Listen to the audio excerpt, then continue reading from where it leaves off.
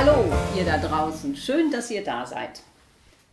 Bei uns im Garten gibt es ein Vogelhäuschen. Und in dem Vogelhäuschen, da brütet jetzt ein Blaumeißenpaar. Das ist so spannend zu beobachten, dass ich mir überlegt habe, ich möchte mir für meine Fensterdekoration ein Vogel im Nest machen. Da gibt es als Vorlage zwei Seiten. Einmal fliegt der Vogel in die Richtung und einmal in die andere Richtung. Die eine Seite heißt Rückseite und die andere ist die Vorderseite. Wir müssen beide anmalen. Und da ihr wisst, ich male gerne mit Wassermalfarben, tada, wir malen heute mit Wassermalfarben. Aber ihr könnt natürlich wie immer Filzstifte, Buntstifte, Wachsmalstifte nehmen oder auch Fingerfarben. Man kann auch nur das ganze Ding so einschmieren mit Fingerfarben. Es wird immer schön. Ich habe noch nie ein schlechtes gesehen. So, dann lege ich jetzt mal los. Ich fange mit dieser Seite an. Brauche natürlich ein Stückchen Zeitung runter, damit ich keine Sauerei auf dem Tisch habe. Ah, das ist die Kinderseite. So, dann Wasser haben wir, Pinsel haben wir, Vogel anmalen. Gut, Schnabel. Wow, zu viel Wasser. Gleich ein bisschen wegtupfen, so, damit das nicht so überläuft. Also weniger Wasser bitte. Mein Vogel wird wie immer ganz bunt, weil ich das mag. Da seht ihr, da ist noch ein bisschen Orange in meinem Pinsel drin, das ist ja prima. Und dann nehmen wir noch ein bisschen, ganz bisschen Wasser ins Rot. Und da hinten macht, versuchen wir mal ganz rot zu machen, genau. Aber habt ihr schon mal mit Fingern mit Wasserfarben gemalt? Das geht nämlich auch gut. Nehmen wir lila und dann kann man das nämlich so ein, einmassieren in das Papier. Muss man ein bisschen dickeres Papier haben. So. Also man könnte auch, das Grün ist noch nicht sehr nass, da muss man ein bisschen länger rühren. Der kriegt einen grünen Kopf. Finger, Wasser. Genau. Bitte mein Vogel ganz transparent. Jetzt gehen wir wieder mal auf den Pinsel zurück. Nur mal so eine Idee, falls ihr mal was anderes machen wollt. Sieht natürlich nicht aus wie der Vogel, der bei uns draußen im Garten ist. Guckt mal, Pinsel ist mehr Wasser immer drin wie an meinen Fingern. So, so eine kleine braune Haube. Da ist mein Vogel schon fertig. So. Nest. Nest ist braun auf jeden Fall. Die Vögel bei uns im Garten, die schleppen da ein Zeug rein in das Haus. Das ist unglaublich. Gestern war, hatte der Vogel, der eine Vogel so viel im Mund, dass er gar nicht in das Loch reinpasste. Der flatterte und flatterte und versuchte da in das Loch das Zeug rein zu transportieren und es ging nicht. Naja, dann ist er halt auf den Ast geflattert und hat ein paar Sachen runterfallen lassen. Und dann hat er, ist er reingepasst vorsichtig um die Eier rum. So, prima. Eier. Vogeleier sind nie ganz weiß, haben wir gelesen. Manche Vogeleier sind sogar rosa. Rosa geht mit ein bisschen Wasser. So. Sieht schon fast wie Ostereier aus. Und ein bisschen abtupfen, damit es wirklich rosarisch wird. So. Und dann haben die oft kleine Punkte. Und dieser Vogel, den ich jetzt hier habe, der hat Eier mit rosa ähnliche Eier mit braunen Punkten. So.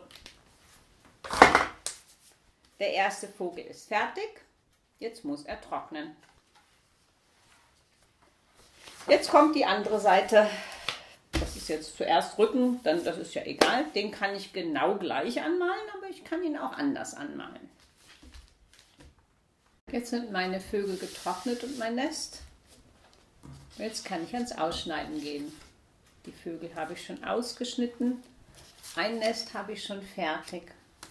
Das andere Nest wollte ich zeigen, wenn man jüngere Kinder hat, nicht unbedingt Wert darauf zu legen, diese Bögen zu schneiden. Das ist nämlich nicht so einfach. Jüngeren Kindern zeichne ich einfach an, sagt, schneide eine Wolke aus. So. Und generell mache ich das sowieso für mich auch so. weil die kleinen Bögen auszuschneiden mit so viel Papier drumherum sehr, sehr schwierig ist. Und wenn man jetzt möchte, kann man genau die Bögen schneiden. Ähnlich wie beim Dreieck, immer von außen in die Spitze. Hm, da sind wir noch nicht ganz durch. So, bis es runterfällt. Da haben wir schon. Und es muss auch nicht, wie man jetzt hier sieht, so ganz super genau sein, sondern ungefähr. Aber man könnte das Nest auch so lassen,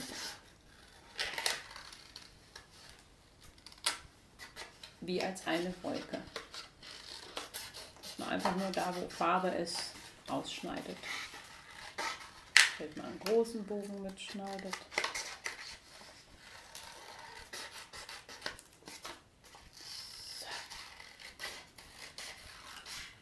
Ah, da haben wir nochmal einen großen Bogen.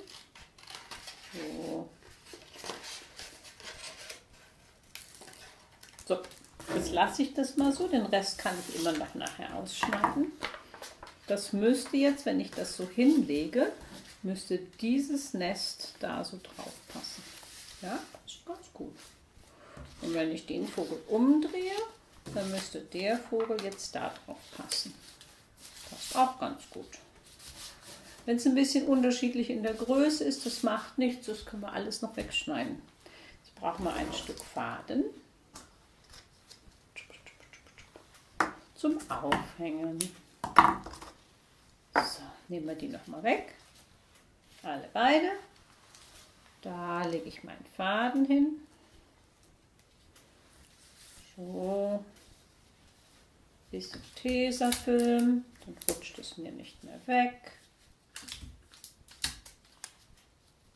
So, jetzt könnte ich schon hochheben. So, aber die Rückseite ist ja weiß. Deswegen haben wir ja zwei Vögel angemalt. Nehme ich den Kleber und schmiere den Vogel ein. was klebe ich auf den Vogel? Natürlich den anderen Vogel. Rutsch. So. Da außen rum. Vogel da drauf kleben. So. Dasselbe machen wir beim Nest.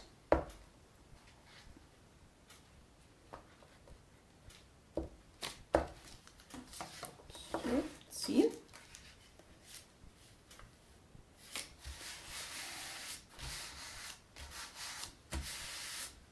So. Nester sind aufeinander geklebt. Wenn man will, kann man jetzt noch fertig ausschneiden.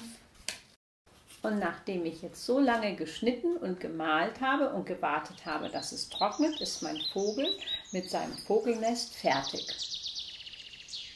Und während der Zeit sind die Vögelchen draußen im Garten auch fleißig ihr Nest anbauen. Ich hänge das ins Wohnzimmerfenster, dann könnt ihr das sehen, dann wissen die, was sie zu tun haben.